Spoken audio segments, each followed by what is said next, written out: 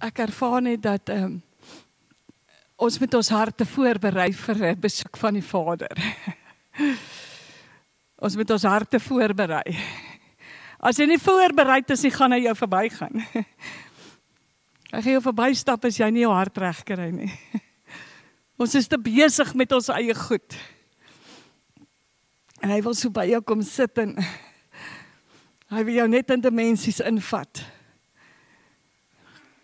Hy wil hy wil ons verander.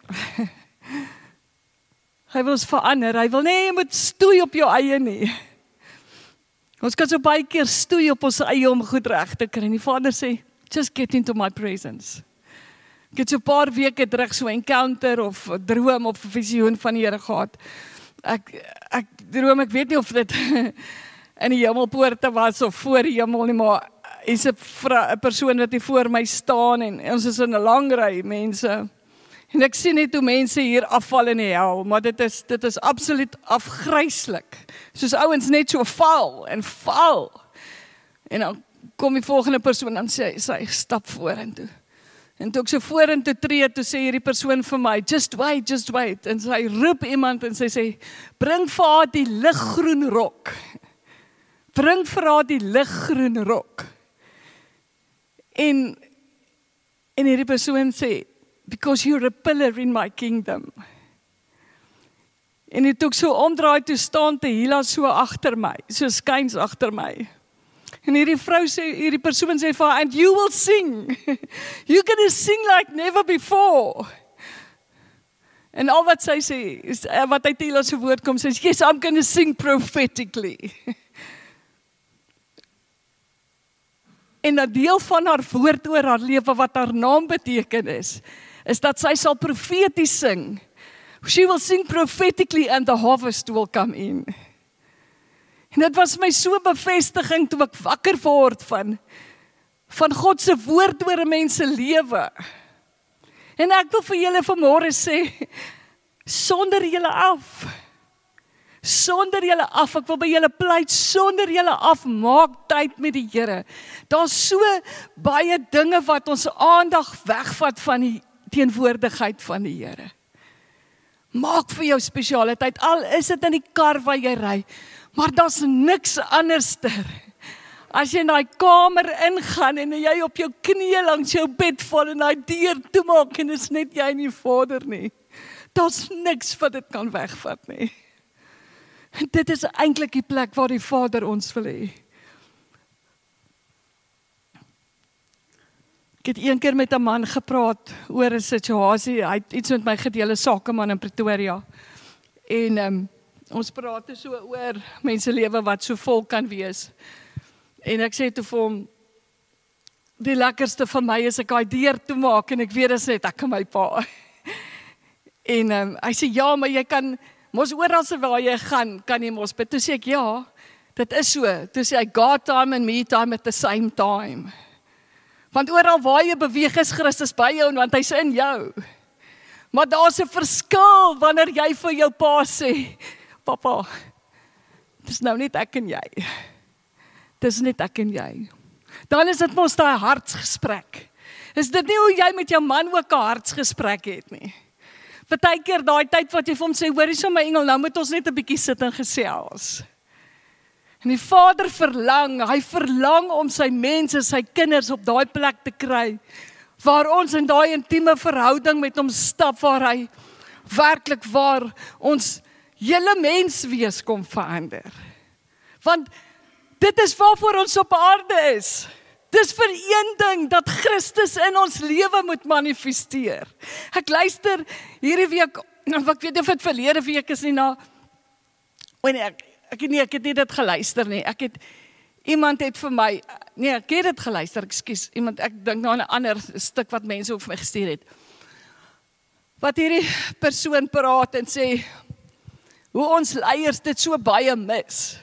Want daar is so kompetisie tussen kerke van wie is die grootste, wie die meeste mense, wie die meeste gelde, geld, wie die beste plek. Hy sê want God het ons nooit geroep om die grootste en die beste en die rykste te wees nie.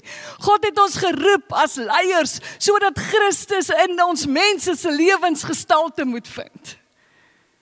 En weet julle wanneer ons regtig op daardie plek kom om om Christus in ons mense se lewens gestalte te laat kry, gaan ons baie meer die krag van God in ons lewens sien beweeg.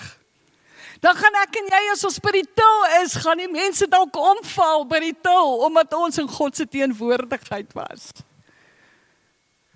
Dan gaan jy dalk daar by die petrolpomp waar jy vir daai ou 'n 10 randjie gee in sy hand of 'n 5 rand Dan gaan hy sê meneer, vandag is jy Jesus vir my. We have to be Jesus out there. Ek het een keer hierso um, na Builders Warehouse toe gery. En daar staan mos so streep mense daar wat hulle verfkwaste in hulle goed het. En dit breek my hart elke keer as ek daar verbyry en ek sien hierdie mense wat daar staan en hulle het nie werk nie. En die een man het uit sulke mooi visitekaartjies vir hom gemaak. En toe ek terugkom, toe vat ek een van die kaartjies en en ek sê vir hom, "Maar ek gaan net daaroor kan stop." En hy dink toe seker, ek gaan nou vir hom werk gee. En hy kom so aangehardloop en en ek sê vir hom, "Nee, nee, nee, bring al die mense wat daar staan." Hy sê, "Nee, maar hy wil alleen die werk hê." Ek sê vir hom, "Ek het nie vir jou werk nie, maar ek wil met julle praat." Nou seker so maklik so 10, 11 wat daar, julle weet mos al by Boulders is 'n klomp mense. Ek sê roep al die manne. Roep hulle almal. Ek kom staan daar by by, die, by my by die motor. En ek sê vir hulle, weet julle hoe hartseer raak ek as ek hier verbyry? En ek sien julle met julle stokke en julle ehm um, wat is hierdie goed? Rollers man, maar hierdie vierkantige driehoekgoedjies, wat hulle pleister mee. Troffel, troffel, dankie. Kan ek kan nie op die woord dink nie. Met hulle troffels en hulle opgewondenheid om net ver te kry en ek sê vir hom en jy's so getrou om daar by daai stopstraat te staan en jy's bly en jy's so vol hoop. Ek sê vanaand gaan jy huis toe en jy het 'n vrou by die huis en jy het kinders. En dan vra jou vrou vir jou, het jy vandag werk gekry? Dan moet jy sê nee. Dan vra jou kinders, pappa, is daar brood? Dan moet jy sê nee, ek het nie geld gehad vir brood nie. En ek praat so met hulle. Ek sê, weet jy wat? Ek het ook 'n man. En ek weet hoe dit gevoel in baie tye in ons lewens wat Witbix ons oggend en ons middag en ons aandete was. My kinders wil niks van Witbix nou weet nie. Ek eet dit nog met liefde. As ek 'n Witbix eet, dan dink ek hoe goed God vir my is. Maar weet julle, En ek praat en ek begin net met hulle te deel. Ek sê vir hulle ek het nie vir julle werk nie. Maar ek ken iemand wat vir julle werk het en hulle oor raak net so groot. Ek sê dis Jesus Christus. Ek sê en hy kan hier buite mense soek om vir julle werk te gee. Ek sê en ons bid. En ons het so lekker saam gebid en toe ek klaar is, toe sê ek vir hulle mag dit met julle goed gaan en ek bid dat die Here vir julle werk gee. Ek sê jammer dat ek nie vir julle iets vandag kon gee om te sê kom verf my huis of kom doen iets by my nie. En die een man kyk my so en hy vat my hand so hy sê, "Ma'am, you've given us much today. You've given us Jesus." En weet julle, ek wil julle vanmôre bemoedig. You must give much to people. You must give Jesus to them. As ons in die vlees iets gaan gee, gaan ons frustreerd raak. Maar as ons in die gees begin beweeg en sensitief is vir die Heilige Gees, dan dan gaan die Vader ons gebruik. Goed. Dit was nie deel van my boodskap nie, jammer. OK, goed. Ek gaan vanoggend met julle praat oor onverskrokke geloof. Ek dink in hierdie laaste jare en 'n half was ons almal gekonfronteer op baie vlakke met ons geloof. En ek dink dit was nie altyd maklik nie, maar een ding moet ons vir mekaar sê, ons het al so ver deurgekom. En um, wat ek ook net vanmôre weer besef is God bly die God van die onmoontlike. Maak nie saak van hoeveel ander gode of plekke is wat mense beelding goed kan aanbid nie, net ons God kan die onmoontlike waar maak. Net ons God kan wanneer jy vir hom iets vra vir jou antwoord. Ja, miskien nie in jou tydsone nie, maar hy antwoord altyd. En daarom kan hy wil die Vader vir my en vir jou op 'n plek bring dat ons sal besef Wanneer ons na hom luister en wanneer ons met hom praat, is niks onmoontlik vir hom nie. Ons kan kies om negatief en of positief in 'n situasie te wees.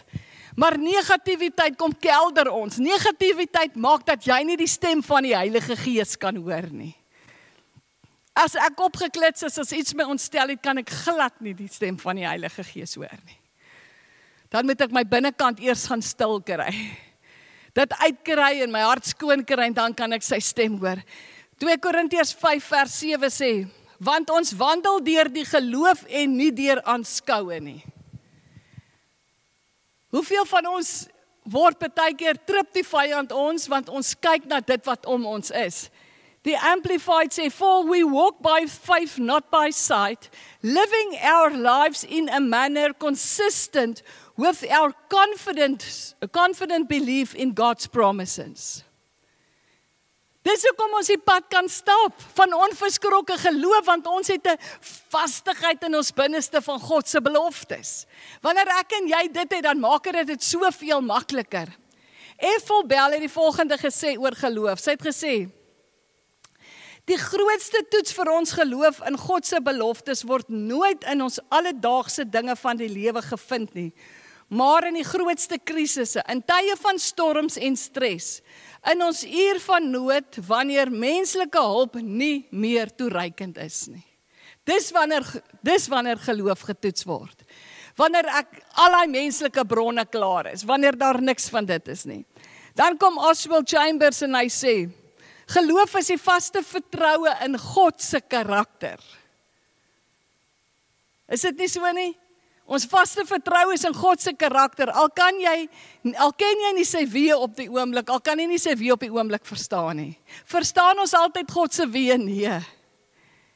Maar wanneer ons daai standvastigheid het in God se karakter, dan weet ons hy gaan deurkom.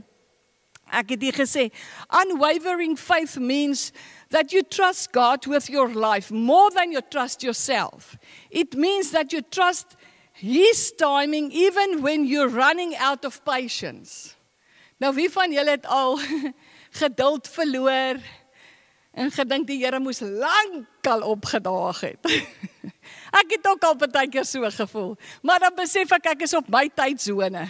Nee, dan sê Vader, it means that you trust he, that it means that you trust his decisions even if you don't like the outcome. Dis onverskrokke geloof. Al kom nie goed nie uit soos wat jy gedink dit moet uitkom nie, dan moet jy weet jou Vader weet beter. En ek dink dis die plek waar ons baie keer sukkel. Lukas 18 as ek dink aan iemand met onverskrokke geloof wat net aangehou het en aangehou het, is Lukas 18 vers 1 tot 8 die gelykenis van die onregverdige regter. En hy het ook aan hulle gelykenis vertel met die oog daarop dat 'n mens gedurig moet bid en nie moedeloos word nie. Kom ons stop sommer daar gedurig moet bid en nie moedeloos raak nie. So as ons baie keer in 'n situasie dan wil ons vinnige kitsgebedjie op sê. Goed, daar die Here sê roep my aan in die dag van benoudheid en ek sal jou uitred en jy moet my eer. So daar is tye wat daai gebed vinnig werk, maar daar is vir my ook in die Bybel en in 'n mens se lewe 'n tyd wat jy bid en jy bid en jy bid en jy bid en dalk is jy nie meer daar nie, dan vat die volgende generasie oor en bid totdat die Here deurkom. Goed, vers 2 sê en gesê daar was 'n regter in 'n stad wat God nie gevrees het en geen mens ontsien het nie. Vers 3 sê en daar was 'n wed en daar was in daardie stad 'n weduwee en sy het gedurig na hom gekom en gesê: "Doen reg aan my teenoor my teeparty." En 'n tyd lank wou hy nie, maar daarna het hy by homself gesê: "Al wreek ek ek het 'n fout daar." O, is Dankie Peter. Sorry, ek dink dit moet wreek is uh, uh, daai woordjie. Ek God ook nie en al al ons sien ek geen mens nie. Tog sal ek omdat hierdie weduwee my moeite gee aan haar reg doen sodat sy eintlik kom en my in die gesig slaan nie. Toe sê die Here, hoor wat die onregverdige regter sê. Nou hoor jy so vers 7 sê hy, sal God dan nie reg doen aan sy uitverkorenes wat dag en nag tot hom roep nie? Al is hy ook lankmoedig in hulle geval. Vers 8 sê: Ek sê vir julle dat hy gou aan julle reg sal doen, maar die seun van die mens, maar as die seun van die mens kom, sal hy wel geloof op die, geloof op die aarde vind. Hier is dit vir my 'n totale bewys van wanneer ons deur moeilike goed gaan en ons weet nie wanneer die Vader kom nie, wanneer Jesus sy seun gaan terug aarde toe stuur om ons te kom haal nie. In hierdie gesin, in hierdie verhaal het ons gesien hierdie vrou het nie opgehou nie, sy het aangehou en aangehou totdat die regter haar na goed gedoen het. Nou wil die Vader vir ons in hierdie proses ook wys, ons moet groei in ons geloof. Ons kan nie geloof is nie iets wat jy op Pick-n-Pay se rak koop nie. As dit so was, het ek al my geld daaraan spandeer. Want die woord sê alles sonder geloof is sonde.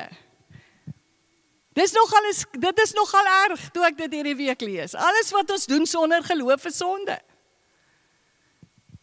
Wat keer my om on, onverskrokke geloof in my lewe te hê? Die een is vrees. Ek dink ek ons kan vir mekaar sê vrees kom klop nie net aan sekere mense se deur nie. Hy kom klop aan ryk mense, aan arme mense, aan elke nasie se deur. Dis nie jy gaan nie vrees weg vryspring nie. Ek dink baie almal van ons wat hier sit het dalk iewers in ons lewens al vrees beleef. En vrees is een van die goed wat die vyand die kragtigste op hierdie stadium gebruik. Veral met COVID. Want hy saai soveel vrees dat mense in angsaanvalle kry van dit. En dit is nie God se hart nie. Kom ons kyk 2 Timoteus 1 vers 7 sê, want God het ons nie 'n gees van vreesagtigheid gegee nie, maar van krag en liefde en selfbeheersing. Kom ons kyk wat sê die amplified. Hy sê for God did not give us a spirit of timidity or cowardice or fear, but he has given us a spirit of power and of love and or a sound mind and personal discipline. Nou kyk hoe mooi in die hakkies, abilities that result in calm. Is dit nie mooi nie? Dan sê hy verder, a well-balanced mind and self-control. A well-balanced mind. Die Passion vertaling sê for God will never give you a spirit of fear, but the Holy Spirit who gives you mighty power, love and self-control. Weet jy as jy nie met vrees deel nie, wat wat gebeur in jou lewe? Wat manifesteer in jou lewe? Woede, onsekerheid, argumente en moedeloosheid. En, en ek wil nou ek gaan vir julle dalk 'n sensitiewe vraag vra. Dink van wanneer COVID begin het tot nou. Was daar vrede in jou huis of was daar vrees in jou huis? Jy kan dit vir jouself antwoord. Was daar vrede of was daar vrees? Want as daar vrees in jou huis was, kan ek jou waarborg, daar was ongelukkigheid, daar was konflik. Want jy maak 'n groot deur oop en ek wil hier nou met die manne praat. Julle is die hoof van julle huis. So elke ding wat jy toelaat wat nie volgens God se woord is nie, as jy dit toelaat in jou huis of dan manifesteer daai goed in jou huis. So vanmôre wil die Vader vir jou sê, moenie vrees toelaat nie. En ek eer die Here vir Gerard. Hy het net ons hele erf gaan salf uit die huis gaan salf en hy het gesê siekte sal nie by ons inkom nie. Die COVID sal nie by ons inkom nie. En ek glo dit. Sou ons siek word? Is my pa groter as COVID. Dis nie lekker om heeltyd te hoor van mense wat om jou doodgaan nie. Dis nie lekker nie. Dit die die vyand wil net vrees aan jou lyf kom sit. Ek het verlede week ek was ook die week by die dokter met vir 'n klomp bloedtoets en goed. En elke keer dan wil hy so 'n ding opstaan. En weet julle wat is vrees? Die vyand wil nie hê ag ons moet in die vrede van God stap nie. So ek wil vanmôre vir jou vra. Manne, as daar vrees in jou hart is, vra vir die Here om jou ontslae te maak daarvan. En as vrouens as jy vrees het, kom los daarvan. Want as jy vrees in jou hart het, maak jy deure oop vir die vyand, jy gee hom grondgebied. Ons is nie hier om vir die vyand grondgebied te gee nie. Navorsing het getoon daar is sewe groot aspekte waarvoor mense vrees. Vrees om te misluk, vrees vir eensaamheid, vrees vir die dood, vir die onbekende of 'n siekte. Vrees om beheer te verloor, vrees vir verlies, besigheid, hulle gesin of hulle finansies en vrees vir verwerping en vrees vir onveiligheid. Nou as ons na daai goed kyk, is dit goed wat ons wat in ons almal se lewens manifesteer. Jy moet finansies hê. As jy 'n besigheid het, vertrou jy dat dit goed gaan met jou besigheid. Maar al en as jy 'n gesin het, wil jy tog jou gesin beskerm so ver moontlik. Maar as ons toelaat dat vrees hierdie goed oorweldig, kan ons nie God se seën verwag nie. Wat doen wat kom doen vrees? Vrees verswak ons. Vrees neem ons gevange. Weet jy wat? Jy plaas jouself eintlik in 'n hok waar jy sit en jy die sleutel by jou, maar jy wil uitkom. Jy moet die keuse maak om nie te vrees nie. Wat doen vrees nog? Hy verlam jou, hy ontmoedig jou en en baie siektes ontstaan deur vrees. Vrees bring ongeloof. Wat kom doen geloof aan die ander kant? Geloof kom versterk ons, geloof maak ons vry, geloof bemagtig ons. Geloof bemoedig ons en geloof maak ons so gesond en geloof bring ons hoop vir die toekoms. Is dit nie awesome nie? Ek wil nie vrees in my lewe hê nie, ek het hoop vir die toekoms want my pa leef. Ouens, as ons die grootheid van God verstaan, dan gaan ons nie in vrees wandel nie. Ek ek sê nie wees onverskillig nie. Gaan staan nie op die wit lyn en sê ja nee, ek het nou geloof hierdie lorry gaan my nie omry nie. Man, jy gaan 'n teerpad portret raak. Jy gaan so plat wees, hulle gaan jou nie eens met 'n tweezer van die teerpad kan optel nie. Want dis domheid. Dis domheid. Die Here het ook vir ons logiese verstand gegee vir sekere goed. Maar as sy woord sê hy sal vir jou sorg, hy sal jou beskerm, hoekom dink jy net hy Psalm 91 in die Bybel gesit? Dawid hoef dit nie te geskryf het nie. Maar dis met 'n doel daarin dat die Vader vir my en vir jou sê, moenie dat die vyand jou jou geloof kom steel deur vreesagtig te wees nie. Preston Brantley het die volgende gesê: As jy mislukking en armoede vrees, sal hulle na jou kant toe kom. Al probeer jy jou bes om hulle te ontduik. As jy nie geloof in jouself het wat die lewe jou sal bring nie, sny dit uh, sny dit jou af van die goeie dinge van die lewe. Verwag oorwinning en jy sal oorwin. Is dit nie kosbaar nie? Wat is wat is jou verwagting? As jy opstaan in die oggend, ag, oh, Here, dis weer maandag. Dit gaan 'n rowwe week wees. Nee, sê vir die Here dankie, jy het 'n voorreg om vir ma om môreoggend op te staan. Sê Here, al die seëninge wat U vir my hierdie week het. Wow, Here, help my laat ek op die plek kom wat ek dit kry. Daar moet 'n opgewondenheid in ons harte kom. Die Vader wil vanmôre vir jou sê ek het jou nie op hierdie aarde gesit om swaar te kry nie. Ek het jou op hierdie aarde gesit dat jy 'n oorwinnaar kan wees. Dat jy iemand kan wees wat in onverskrokke geloof kan stap. John Maxwell sê die enigste manier om werklik jou vrees te oorwin is om dit te konfronteer. Moenie soos 'n mislukking voel as jy iets vrees nie. Gaan na iemand toe en sê, "Jo, ek sukkel in hierdie area. Help my. Ons is hier om mekaar te help." Ek het ook op 'n stadium baie erg gevrees oor ons finansies. Toe ons Kaap toe getrek het met R500 in ons rekening, twee klein kindertjies en 'n poedel in 'n in 'n kar wat jy sê pour the oil and check the petrol. So een. Die kinders sien wit lyne sien en as dit reën moet hulle eintlik 'n sambreelie want die kar lek so baie.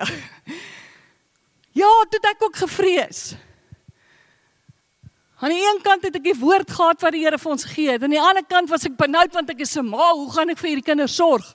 Waar gaan ons bly? En dan mense wat eintlik jy lankpad mee stap, kyk vir jou met sulke groot oë en sê vir jou dis nie hoe God werk nie. Dan wil ek vir jou, dan wil ek die vraag vra toe Abraham, toe God vir Abraham gesê het gaan Isak, gaan offer vir Isak jou enigste seun. Wil jy dan ook sê dis ook dis ook hoe God nie werk nie. God besluit self hoe hy werk. Dis ons wat God in 'n boksie plaas en sê hy kan nie so werk nie.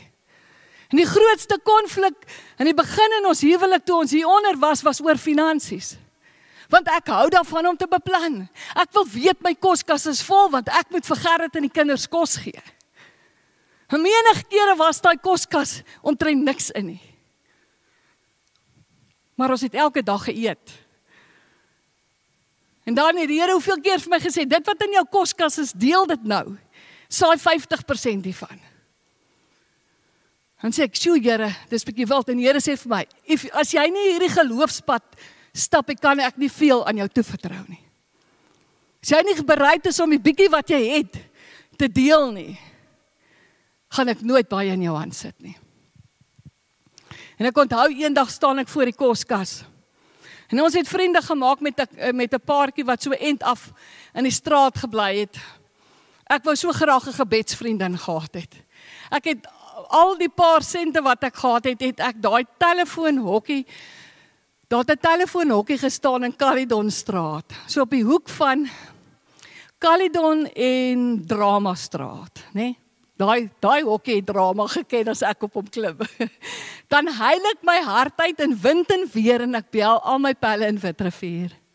En ek huil my hart uit. Want dan is dit uit benoudheid. En die Here moes met my 'n pad stap om hom te vertrou vir finansies. En daai eendag sit ek kom ek in die in die kombuis en die Here sê vir my pak alles wat in hierdie kas is, die helfte daarvan en gee dit vir Jan en Wendy. Maar dit voel of my bodem uitval. Ek sê Here, dis bietjie erg, jy weet as jy dit goed so uitpak, jy ek het letterlik alles gedeel. Sit dit in 'n sak en ek stap die straat af na haar toe. Die kinders het nog so rooi pram gehad, pakkie pram ook vol goed. Rison kon loop, my nan toe was so 'n jaar oud. En eh, kom daar klop aan die deur. Ek sê vir Winnie, hoorie, ek het net 'n paar goedjies vir jou gebring wat ek net op my hart gevoel het. Toe ek dit van gee, toe val sy op die grond neer. En sy maak haar koskaste oop en sy sê vir my ons het die hele week nog niks kos gehad om te eet nie. Weet julle hoe sleg het ek gevoel omdat ek geredeneer het in die kombuis van hoe gaan ons deurkom? Terwyl ek nog genoeg gehad het om ten minste 'n maand deur te kom.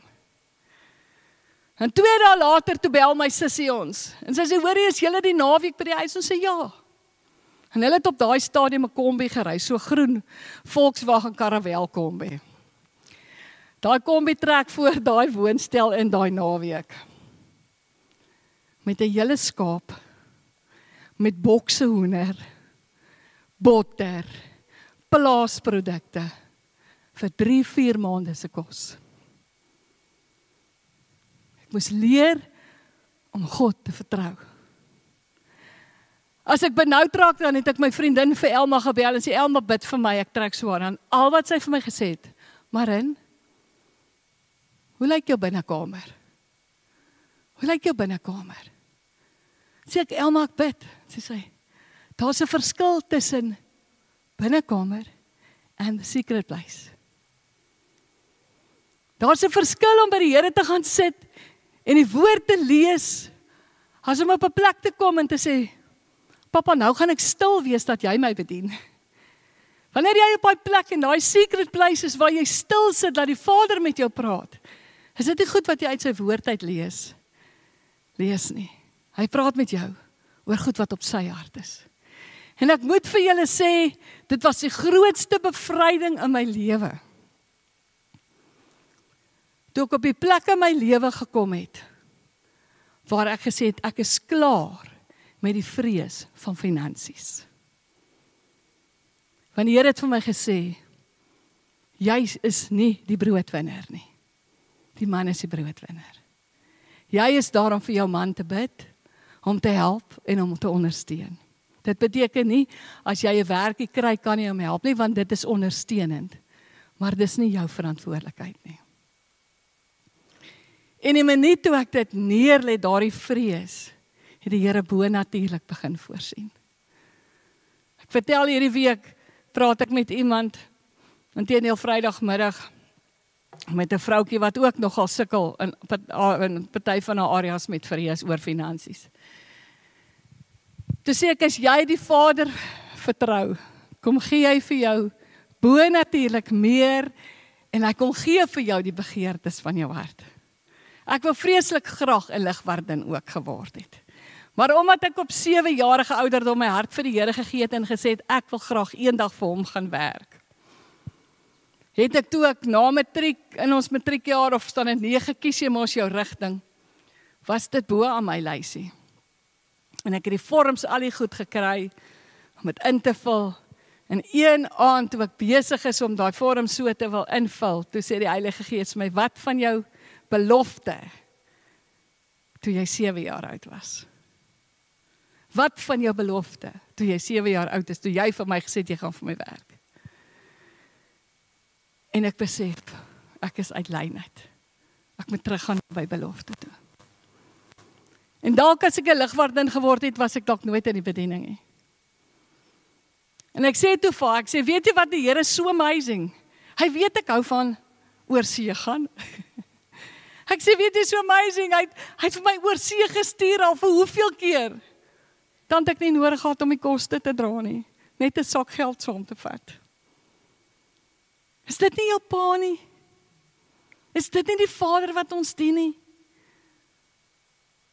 Hy wil vanmôre iets in jou hart. Hy wil vrees uit jou hart uitkom ruk vanmôre.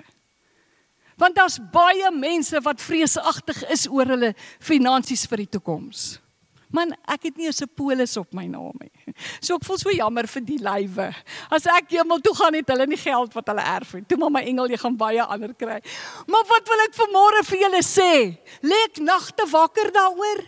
Sê julle ek is dalk onverskillig? Nee. My pa weet as ek my alles vir hom gee. Hy is in my toekoms.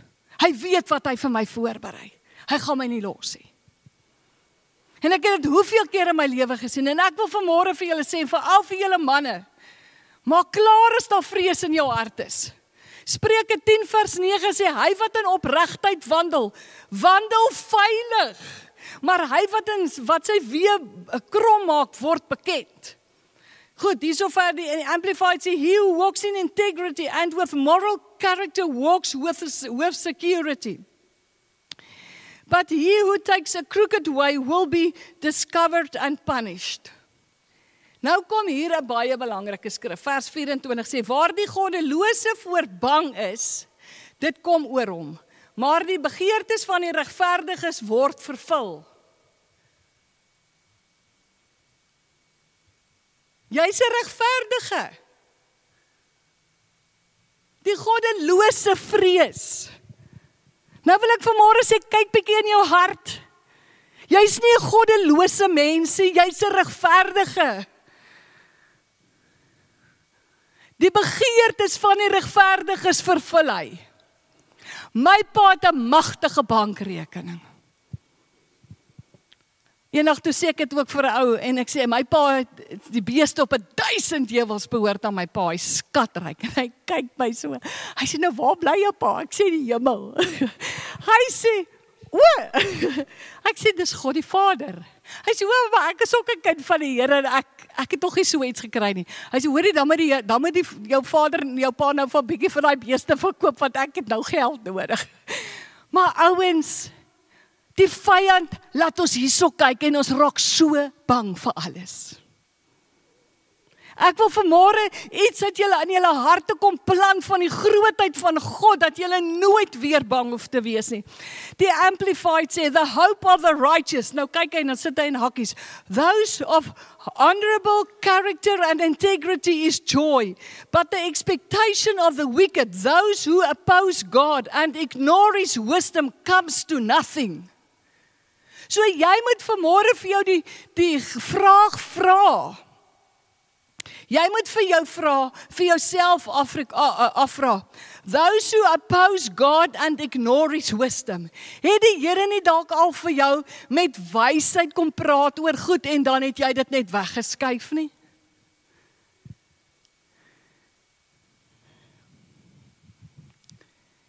Ek ek wil hê ons moet ons oë net vir so 'n minuut toe maak. Maak net gou julle oë toe.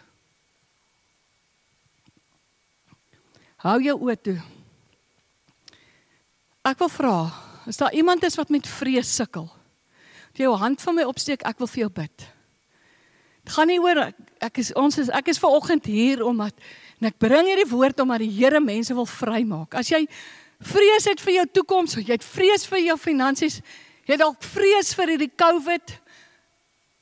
Ek wil vanmôre vir jou sê God wil jou vrymaak van vrees. Vrees dat die Here nie vir jou gaan deurkom nie. Die Here wil vir jou vrymaak. Hy wil vir jou vanmôre sê, I'm more than enough. Ek sal jou nooit begewe van jou nooit verlaat nie. Dankie vir die hande. Here, ek bring hierdie mense nou na U toe. En ek kom bind die gees van vrees vanmôre. En ek ruk dit uit hulle harte vanoggend. En ek sê, dit is 'n les daai, dit is klaar, dit is volbring in die naam van Jesus. U woord sê dit ons nie 'n gees van vreesagtigheid gegee nie, maar van krag en liefde en selfbeheersing. En daarom kom ek Vader en ek ruk hierdie vrees uit hulle harte, uit hulle gedagtes, uit hulle bewussyn en hulle onderbewussyn vanmôre.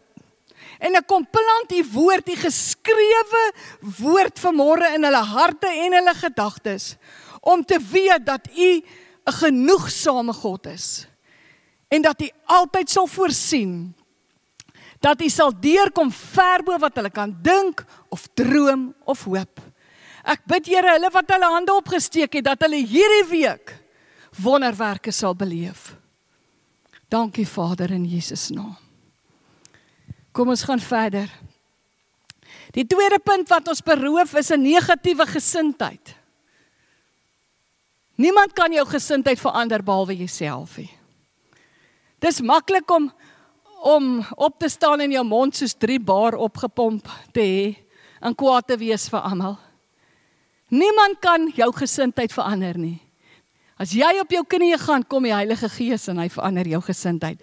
Hoe kan ek my gesindheid verander? Ek het hier gesit, aanvaar verantwoordelikheid vir jou gesindheid. Baie keer wil mense net vir ander mense die skuld gee. Ander mense is nie altyd verkeerd nie. Evalueer jou huidige gesindheid. Ontwikkel die wil om te verander. Hierdie is 'n belangrike ding. Baie mense sê ag ek sal verander. Maar as dan nie 'n wilsbesluit kom om te verander nie, gaan jy nie verander nie. Verander jou gesindheid deur jou denke te verander. Hoe verander ek my gesindheid deur my denke te verander? Bly in die woord. Bly in die woord. As jy nie in die woord is nie en jy het 'n swak area gaan die vyand vir jou target. Gaan van hardloop na die woord toe. As 'n ding my pla dan hardloop en ek gaan vat my Bybel. Dis my redding. Die woord is my redding. Ek kan nie vir julle sê wat hierdie ou Bybeltjie vir my beteken nie. Want as daai vrees so wil kom, dink julle ek is ek is so ek het so onverskrokke geloof dat ek nooit vrees nie. Vrees kom klop ook aan my deur. Toe ek hierdie week vir klomp bloedtoetse moet gaan en ek daar by by Pathcare sit. En die vrou die lys af lees. Kom sit hy ding mos op jou skouer. En al wat ek doen is ek begin God se woord proklameer. Vanoggend sien ek dokter WhatsApp gestuur. Jou bloed is reg, maar jy moet rus. Dis wat God wil hê. As daai en ek Sari sal weet en mense wat kanker gehad het. Daai goggas elke keer daar. Hy wag vir jou. Hy wag vir jou. Maar God leef. En jy moet vrees veg. As jy in God se teenwoordigheid is, verdwyn vrees. Kom ons gaan aan. Goed. Ek het dit gesê, ontwikkel goeie gewoontes, bestuur daagliks jou gesindheid. Kies, kies, kies. Hierdie week het daai Jane meisietjie opgang in die wêreld gemaak. Wat is dit Nightbird? Daai meisietjie het opgang in die wêreld gemaak. Wie van julle het dit nie gesien nie? O, het julle almal dit gesien? Jy nie weet jy nie Christo. Okay maar. Sy het kanker gekry en toe ta man, ek het bietjie van haar blokse goed ook gaan lees. Toe sy sy steur wille tyd met kanker, nog steeds nie uh, skoon nie. Maar toe haar man ook vir haar intussen gesê, um, hy los haar. En sy het toe besluit sy gaan vir America's Got Talent inskryf. Die kleinste, het jy hom weet jy wat die een het? OK. Maar wat vir my so amazing is, wat vir my so uitgestaan het en dit is waaroor gesindheid gaan. Sy het gesê 2% is more than uh, than nothing. Sy het daai gesindheid gevat om te sê, ek het 2% kans om te lewe. Ek gaan die beste daarvan maak. Hoeveel van ons as as 'n 2% ding by ons kom en dan het ons sommer oorgegee. Wat baie keer het ons 'n 50% kans om 'n ding deur te kry, dan gaan lê ons al klaar. Nee man, wees onverskrokke en ek bid, ek het toe ek na kyk, ek en my hand het gistermiddag weer want hy het dit nog nie klaar gekyk. Toe sê ek jy kyk dit nie voor mamma by die huis is nie. Ek gaan daar by jou lê. Toe het dit weer kyk, ek het so gehuil weer want daai entoesiasme om te sê ek het 2%, maar ek gaan deurgaan. En hou haar dop. Ek vertrou die Here bo natuurlik om haar gesond te maak. En toe sy daai deur daai deure loop en sy's alleen en sy gaan hy trappe so af. Toe sê ek, Vader, U is by haar. En ek wil vanmôre vir jou sê, wees onverskrokke in jou geloof. Maak nie saak wat aan jou kant toe kom nie, jou pa is by jou man. Hy los jou nie. Hy sê in sy woord ek sal jou nooit begewe of verlaat nie. Waarom vrees jy? En ek wil dit met autoriteit vanmôre sê. Hou op dat die vyand by jou kom steel. Hou op dat hy jou in jou huis kom steel. Ons is volwasse Christene. Ons moet hierdie pad stap dat ander mense ons onverskrokke geloof kan sien, nie oor wie of wat ons is nie, maar hulle moet God verheerlik en sê, I want to I want to worship him.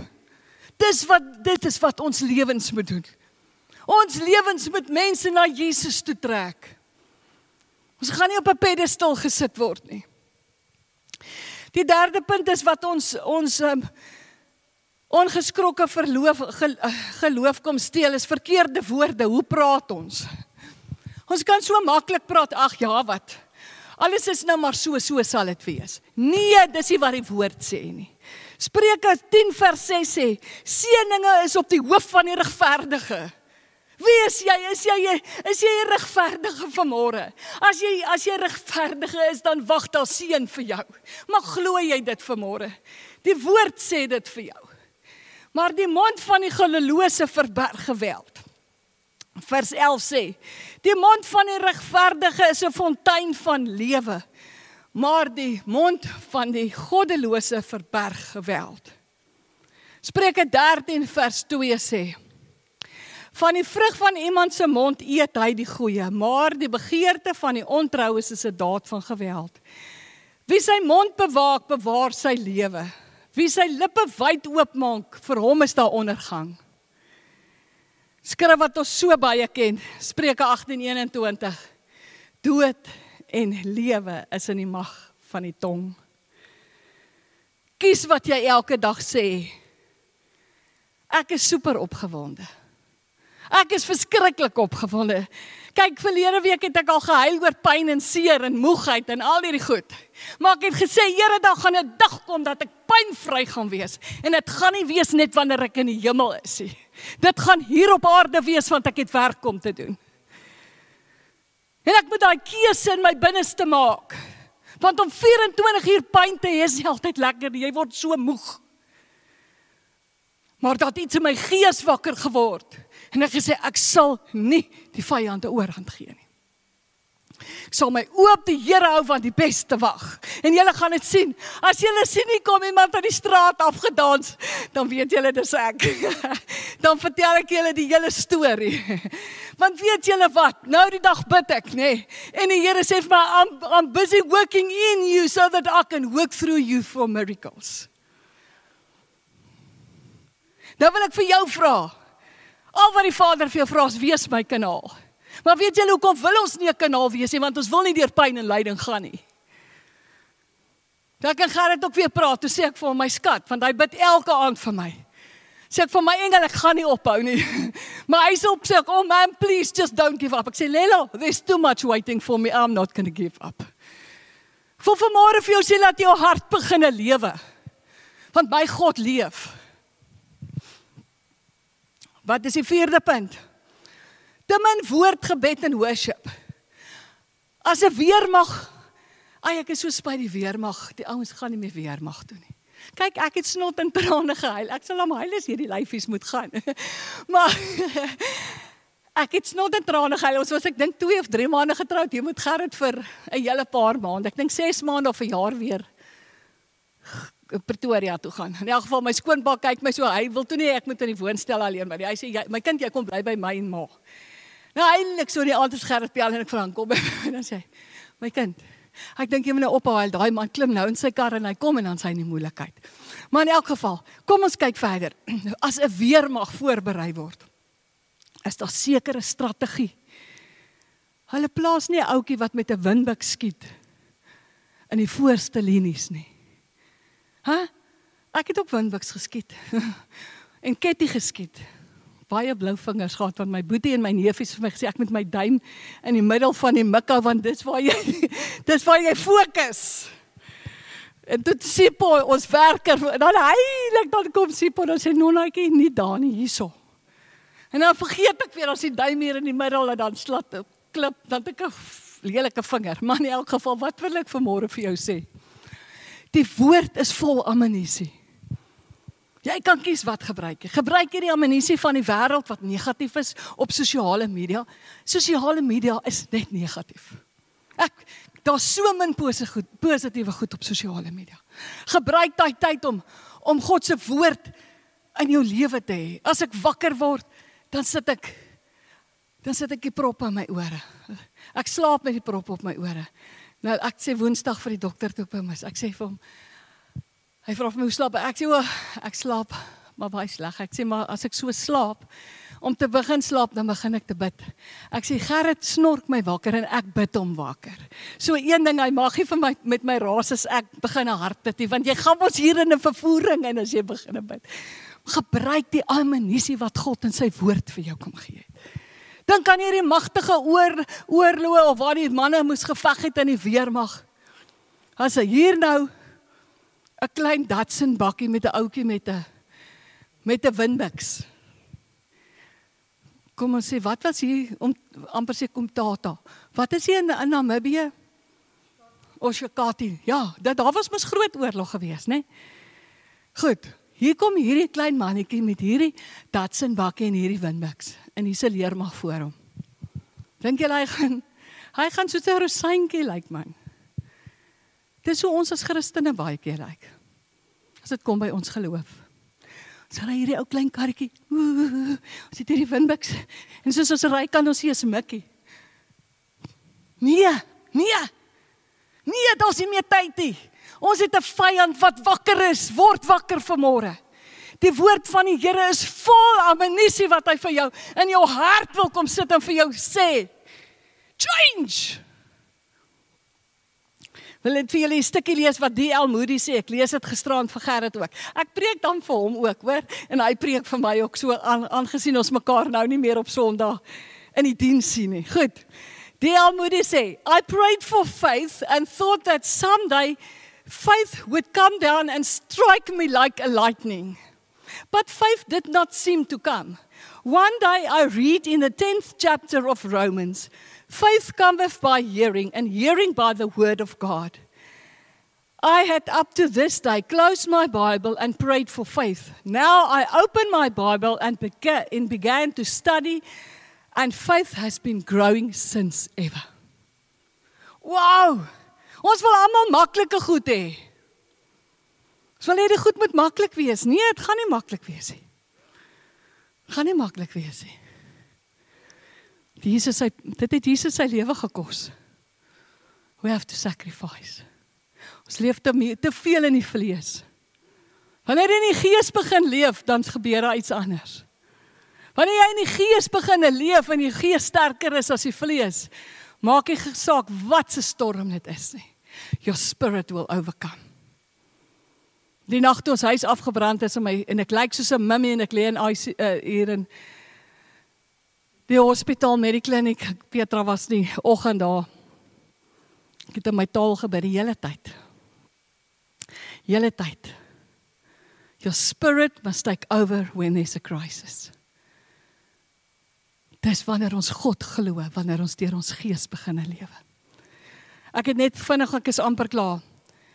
Hoe kan ek groei in onver, om onverskrokke geloof in my lewe te hê? weet dat dat geen omstandighede groter as God is nie. Ek gaan net een vers lees, Psalm 146, 5 en 6. Welgeluksalig is hy wat die God van Jakob as sy hulp het, wie se hoop op die Here sy God is. Gaan nie die verder die ander skrifte lees nie. Om te dink die woord sê dat dat God die Vader elke hoof Ag, elke haar op ons hoof ken. Weet julle hoeveel haar het 'n gemiddelde persoon op hulle koppe? 100 000. Ek het nogal gedink as ons ver oggend toets gevat het en so 'n paar mense gesit en sê hoor hierso kom vir 5 minute en kyk vat elkeen iemand en kyk hoeveel hare tel jy. Toe gaan Google ek. Oom Google help mens mos, nê. Nee. Toe sê hulle gemiddelde persoon het 100 000 hare op sy Ekskuus, 100 000 hare op sy kop. Nou dink julle ek het al vergeet hoeveel 7 of 5 of hoeveel biljoen mense op die aarde is. Dat God presies weet hoeveel hare op elke persoon op hierdie aarde se kop is. Nou dink julle nie hy's 'n bietjie groter as ek en jy nie. Is hy nie bietjie groter as ons omstandighede nie? Ek wil hê julle moet vanmôre perspektief kry van hoe groot is God. En as daar 'n situasie in jou lewe kom, dan dink jy terug aan wat ek vanoggend gesê het. Dan kry jy God se visie. Die laaste punt is glo en hou vas aan God se belofte. Hudson Taylor het um as sendeling in China gaan werk. en op 'n stadium is hy op 'n seilboot is hulle besig uh, op pad na een of ander area toe waar hy uh, as sendeling gaan werk.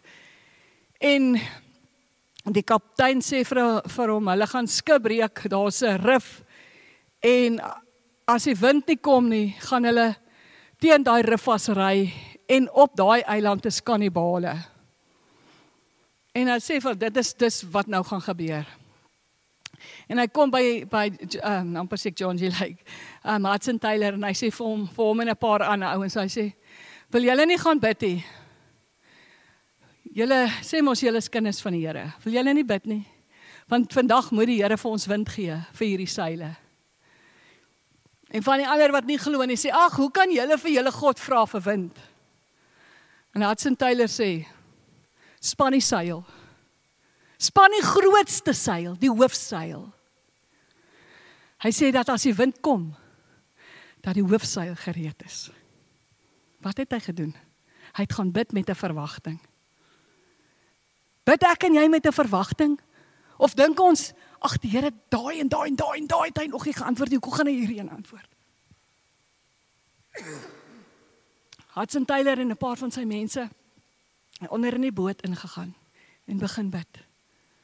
En net voordat hulle daai rif tref, toe kom die wind en hy vat daai hoofseil en hulle draai van daai rif af. En hierdie ou kom by hulle en sê: "Your God is alive. Your God is alive." Hoeveel beloftes het die Here vir jou gegee? Wat jy maar latent laat lê het. Hoeveel profetiese woorde het die Here al vir jou in jou lewe gegee? En dan dink jy, ag, dis maar net nog 'n woord. God hou elke belofte van sy woord. Toe hy vir Abraham gesê het, Abraham, ek gaan jou die vader van baie nasies maak. Het almal vir hom gelag. Abraham, Sara het self gelag. 95. Nee, hy was hy was jonger dink ek. Dit gou 75. Hy was 75 toe die Here daai belofte vir hom gee. Hy het 25 jaar gewag vir daai belofte om in vervulling te kom. Maar God het sy belofte behou.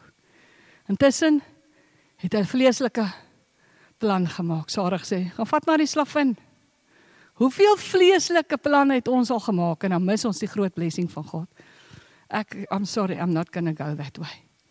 As God vir my 'n belofte gegee het, dan moet ek maar deur die pyn stap om by sy belofte uit te kom. ek gaan my haas. Ek gaan 'n hele paar skiep. Die laaste een wat ek net wil noem is bewaar die woord wat God in jou hart vir jou kom gee het. Baie keer gee die Here vir jou 'n woord, dit is nie noodwendig um 'n skrifgedeelte nie, maar hy gee vir jou 'n woord in 'n profesie of hy gee dit vir jou in 'n in 'n droom of in 'n visioen. Ek onthou baie jare terug het die Here vir my 'n baie groot auditorium gewys. En ek stap so op in die auditorium en ek gaan staan heel bo met my hande agter my rug. En ek sê vir die Here, Here, hiermee het ek niks te doen nie. Hiermee het ek niks te doen nie. En die Here sê vir my suddenly, suddenly, suddenly. En nadat het hoeveel profetiese woord gekom dat die Here ons eendag gaan seën. Ons sien dit nog nie soos wat mense dit wil sien nie. Maar ek sien dit in die gees want God se woord is die waarheid. En hoekom ek weet dit is vir hier, Antonet en 'n paar mense wat ek in die dorp ken was was in daai visioen. En in daai week net na daardie visioen wat die Here vir my gegee het, is ek en Gerrit by oom Waltie Snyman hulle in die Kaap by 'n konferensie waar ehm um, uh wat is haar naam tog? Ek net gou op my notas kyk, ekskuus julle. Ehm um, Joyce Meyer gepraat het. En iemand kom by my en sê vir my en sê vir my Marinda, die Heilige Gees sê ek moet vir jou hierdie boekie gee. Dit is 'n so klein boekie wat sy geskryf het, God Suddenlies. En dit was vir my so bevestiging want in daai week het die Here die visioen vir my gegee. En ek wil vanoggend om af te sluit vir julle sê as die Here vir jou iets gesê het en jy dit in jou hart bewaar, dan sal dit waar word. Partykeer moet jy deel ons dit prematuur. En dan kry jy mense wat saam jou stap en en nie geloof het nie. en groot vraagtekens maak en o, oh, hoekom gaan die Here dit vir julle doen? Geen nie vir my nie. Dis vir sy werk. Catherine Coleman het die Here fenomenaal gebruik. En so toe sy nou bietjie ouer raak het sy ook hartprobleme begine kry en en sy het hartomleidings gehad en sy's toe in 'n hospitaal in Tulsa, Oklahoma daar in Amerika. En sy's baie baie siek. En in hierdie harteenheid het die dagpersoneel ook na gaan kyk.